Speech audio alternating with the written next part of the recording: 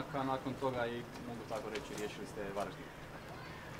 Dobro večer, da, ovaj, prije tog tjedna je bio stvarno loš tjedan, eto, drago mi je da je došao taj dobar tjedan i samo tako treba i dalje nastaviti. E, Što se tiče vas, e, naravno Dinamo imate sjajnu minutažu, što se tiče reprezentacije morate tek skupljati minute, po sat vremena mislim da ste bili e, igrali u Lisabonu, nakon toga ostali na klupi protiv Poljske.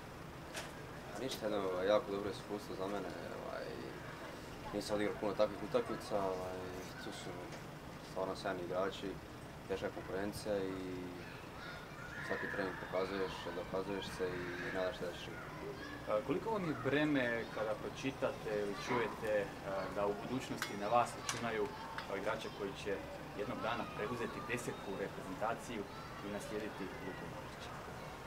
Stvarno se ovaj, ne želim e, stvarati taj pritisak, mislim, uzeti deset od luke, mislim da to svako dijete sanja, ali polako, ne žurimo nigdje i idemo korak po korak. Li kako je vama osobno kad e, dođete na okupne i kada se recimo na terenu e, nađete zajedno sa Lukom Modrićem, kakvi su to savjeti, kako je vama igrati s njim?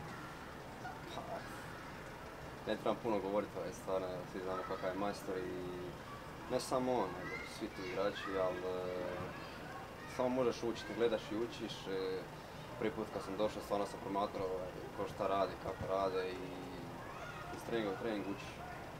Dobro, što je bio možda neki od glavnih savjeta koje vam je dao kroz svo ovo vrijeme? Pa nema tu sad savjeta, mislim, ako se reprezentaciji realno nisi gotov igrač, možeš napredovati, ali tu si s razlogom, tako da nije sad tu neki savjet, ali ja osobno gledam i učim i. Još da vas pitam jednu stvar, e, to koliko Luka Modrić traje, to je doista nevjerojatno. Evo, jutro si baš Radio Marko objavio jednu priču da bi možda mogao u Realu dobiti ugovor do 2026. I onda iz takve, iz takve jedne momčadi kao što je Realu koja je cijelu karijeru praktički voditi Hrvatsku na svjetsko prvenstvo. Što bi to evo vama osobno značilo da vas povede i tamo? A definitivno da bi značilo, ne znam, kapetan je svakom čast i nadam se da će produžiti taj ugovor jer stvarno ga je zaslužio i mislim da i sam Real zna koliko on njima znači isto koji to. Kada vi gledate tu njegovu dugotrajnost, e, koliko, vi- koliko bi vi, naravno kao jedan mlad igrač, e, voljeli biti kao on jednoga dana? Po pitanju toga. A o tom potom, ovaj, to su stvarno ovaj, jako velike godine i ne može svaki igrač toliko igrati. Tako da vidjet ćemo kad doće moje vrijeme, ne mogu sad to razmišljati.